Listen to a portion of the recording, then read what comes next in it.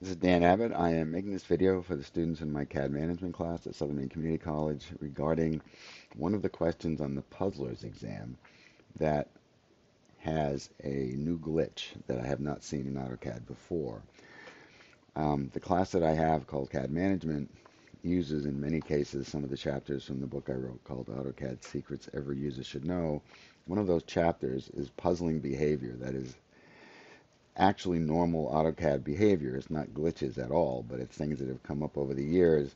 And people have called me from um, various companies and said, I can't understand what's going on here. And one of them, which was fairly common at one time, not so much now, um, has developed a new glitch in AutoCAD when you try to solve it that was not addressed in the book and is not something that I would consider normal behavior. So what I'm going to do is open up a file. so at one time, if you were an old school user of AutoCAD, if you wanted to have something in a drawing that would not plot but was visible, you would put it on the Defpoints layer because that was the only layer in AutoCAD that would not plot. Since then, it's been possible to make any layer in AutoCAD a non-plot layer. But occasionally, if you open an older drawing or you're working with somebody who's kind of old school and hasn't really um, kept up, you'll still find that people do things like put viewports on a Defpoints layer or something else. The problem comes with this. You open a drawing, you can't select anything. Now it seems like you probably have a locked layer. you come up and look at your layers, and none of those layers is locked.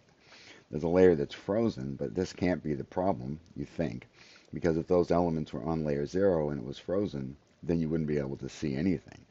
So you can see them, you can't select them. The problem comes from the relationship between the Defpoints layer and layer 0.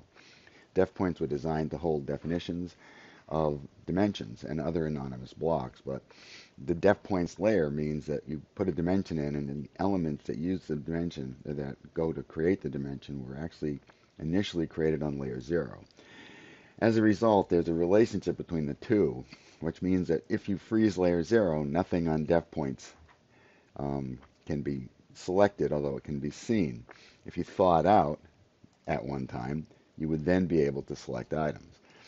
Well, you can't now. it used to be if all you had to do was thaw that out.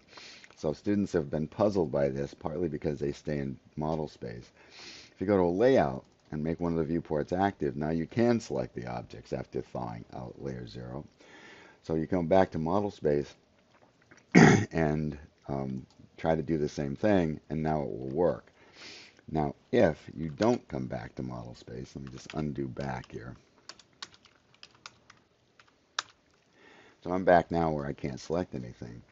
If I go and thaw layer 0 and then do a regen, everything disappears. That's the new glitch. Now everything disappears in model space.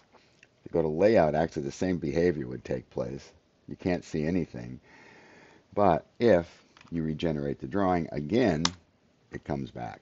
So the regen process somehow hides these things, but regenning again brings them back, as would saving the drawing and then opening it up again. So new glitch, those of you that are puzzled over this particular uh, question on that um, assignment, uh, because you went through this whole process, you did a regen and everything disappeared, but you weren't able to step beyond that and figure something out. That's the problem.